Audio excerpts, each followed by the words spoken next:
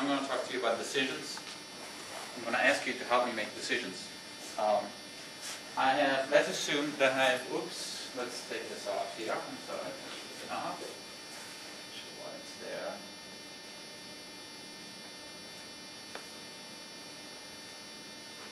There you go. This is what you know. Um, I want you to help me decide what I should do tomorrow. Should I golf? Should I go to a movie? Or should I study? Okay. Now let's assume that you know uh, what my utility, what my enjoyment is, and, and then I could translate that in dollars. Right? So if I golf on a rainy day, I, I have enjoyment of twenty dollars. If I golf on a sunny day, I get enjoyment of 80, worth eighty-five dollars.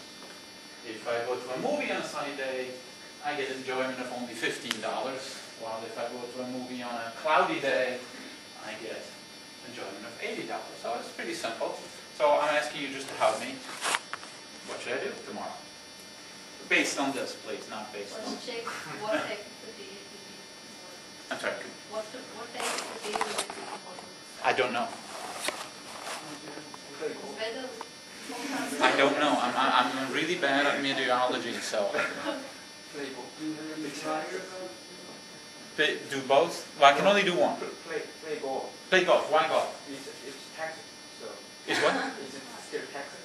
So It's, okay, so you're playing with probability. Let's assume, and, and that's certainly a good idea, and we'll, we'll get to that in just a bit. Uh, you, you're, you're assuming that in Texas the probability is very high that it will be sunny. That's good, good, good choice. But let's assume you didn't know. There was no probability. you can do whatever you want.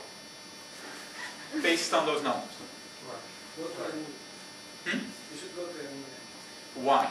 You have to explain why. I mean, because I assume that all of them are equally probable, then the key is the highest expected utility. Okay, so is- is- you're working again with, you're sort of set on your probabilities here. Uh, But basically what you do is, again, probabilities. Let's assume you don't have probabilities. How would you make decisions? You should work, Why should I work? Because the weather is governed by a demon who will make the state of nature comport to whatever gives you the lowest, the lowest utility. In this case, if you work, you'll get 35 because it will be sunny, whereas if you choose anything else, God will punish you. So this is the good, pessimistic, conservative approach. right? Um, You look at what is the worst that can happen to me, right? 25. And if I go to a movie, the worst is 15. If I work, the worst that can happen is 35. I should work. Any other choice? As it, I think, rains. Yeah.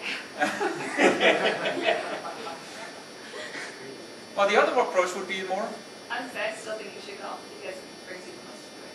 Well, that's positive. There we go. We got The conservative and pessimistic. And the positive approach, I I look at, you know, what can give me the most enjoyment? And obviously, if I look golf, the maximum enjoyment is 85, the maximum enjoyment is 80, the maximum enjoyment is 70. Right? So we have the conservative approach, we have the uh, optimistic approach. There is one more approach here that we can do without any probability, again, assuming we have no probability, and that is looking at regrets.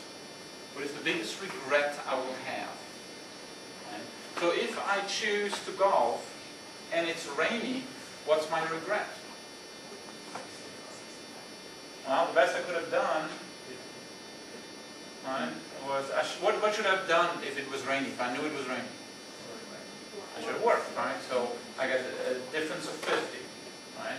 So I'm losing the opportunity of 50. I went to a movie, I'm losing the opportunity of 15. And so what you do is you build uh, what is referred to sometimes as a regret table. And you hope that, there we go.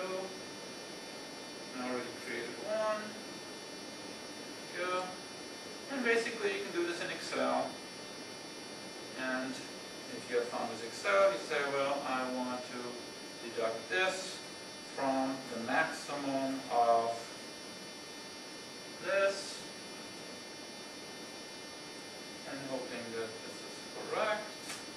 And as you said, 50, and I'm going to copy this just over here. And so if I move this a little up so you can see it, well, if I choose golf, what's the biggest regret I can have? Fifty-five. If I go movie, the biggest regret I will have is seventy. If I work, the biggest regret I will have is fifty. Therefore, if I want to have the least amount of regret, I should go study, right? which is kind of uh, standard. How much time do you have left?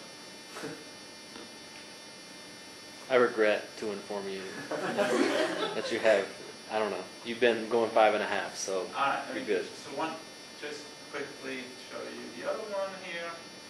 The other thing you can do is add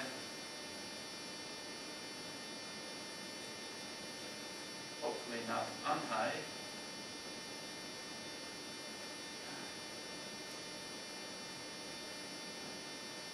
Okay, You can add probabilities, and most of you have already mentioned that. You want to have probabilities, so let's assume that is, that there is a probability like that.